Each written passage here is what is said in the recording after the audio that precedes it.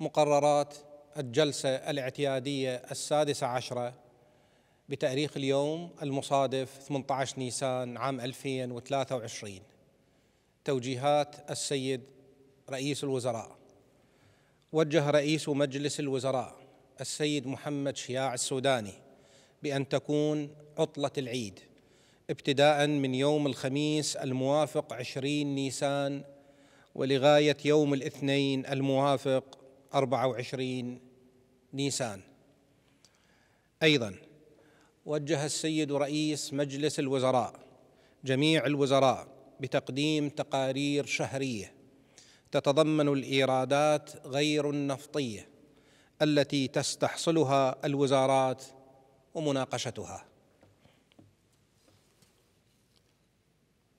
مقررات الجلسة السادسة عشرة. اعتبار أول يوم أربعاء من شهر نيسان من كل عام عطلة رسمية للمكون الأيزدي من أبناء شعبنا الكريم مع اعتبار يوم غد الأربعاء الموافق 19 4 2023 عطلة رسمية أيضا.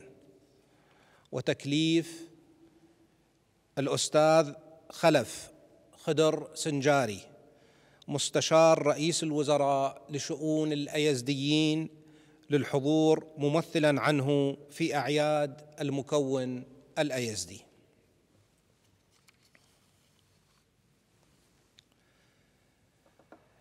إقرار توصية المجلس الوزاري للطاقة 23032 لسنة 2023 بشأن الموافقة على التسوية الرضائية بين شركتي نفط البصرة مع ائتلاف شركتي شل وبتروناس.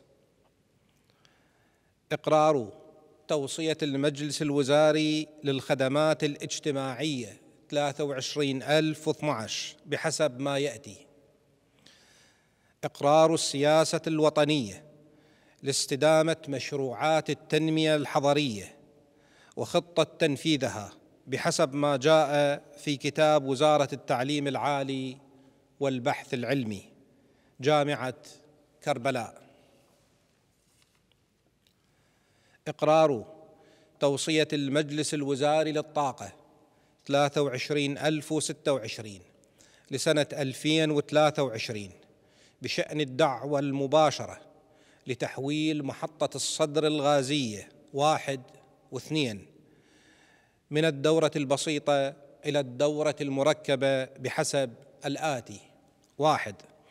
إقرار توصية اللجنة المركزية للمراجعة والمصادقة على الإحالة في وزارة الكهرباء المأخوذة في جلستها الثالثة المثبتة في الفقرة ثمانية تحديدا بشأن إحالة الدعوة المباشرة الخاصة بتحويل محطة الصدر الغازية واحد واثنين من الدورة البسيطة إلى الدورة المركبة بعهدة شركة ستلر أنرجي الأمريكية بمبلغ إجمالي 288 مليون و598 ألف و800 دولار أمريكي وبسعر نوعي 877 ألف و200 دولار للميجا واط بزيادة 3.2%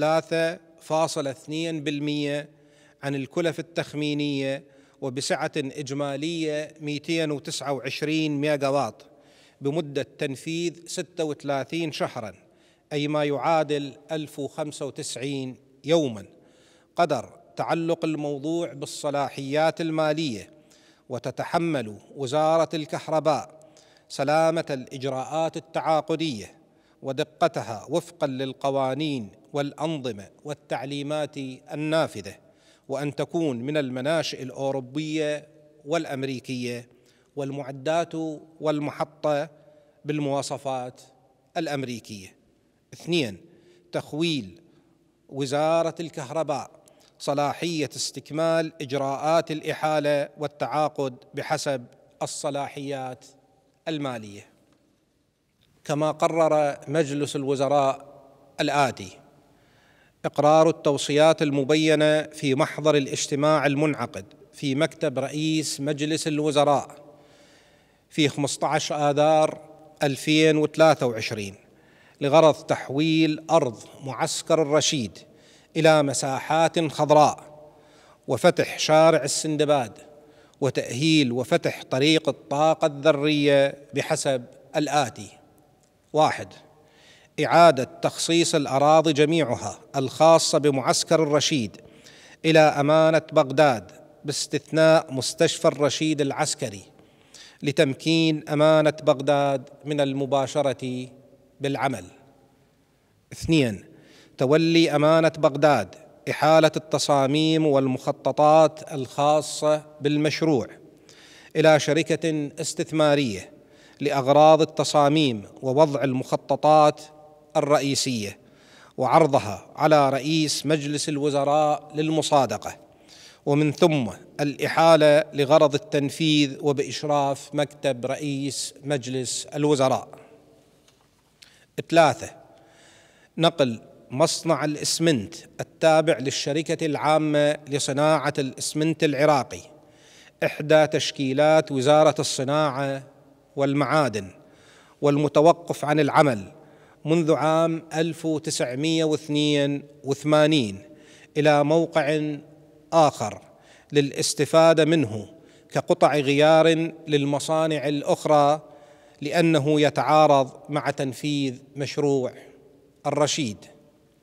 أربعة تولي وزارة الصحة إنشاء مدينة طبية ثانية في بغداد على هيكل مستشفى الرشيد العسكري.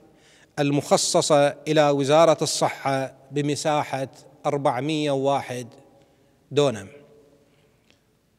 خمسة إلزام الشركة المنفذة لمشروع معسكر الرشيد بإنشاء قاعدة جوية تكون في مناطق أطراف بغداد تحدد لاحقا بعد استحصال الموافقات اللازمة بديلا عن قاعدة السلام الجوية كما نص القرار على إيقاف جميع أوامر التخصيص لأراضي معسكر الرشيد التي تتعارض مع تنفيذ المشروع ولا يمكن استثمار أي جزء منها خارج هذه الرؤية وإلغاء قرارات مجلس الوزراء السابقة. قرر مجلس الوزراء. تقديم الجهات المبينة تفاصيلها بالمكشوفات المرافقة لكتاب ديوان الرقابة المالية الاتحادي المؤرخ في 6 آذار 2023 بياناتها إلى الديوان المذكور آنفا بالسرعة الممكنة لإكمال إجراءات الرقابة على المال العام.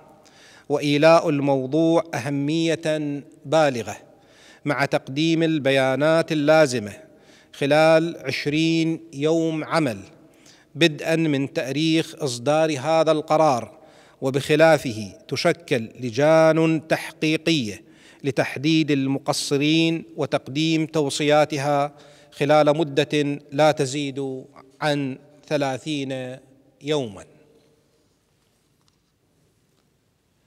شكرا.